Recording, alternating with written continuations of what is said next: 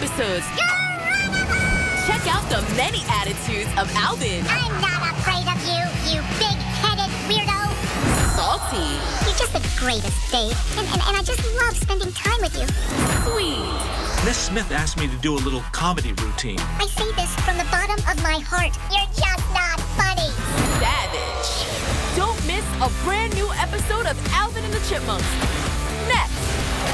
Only on Nick.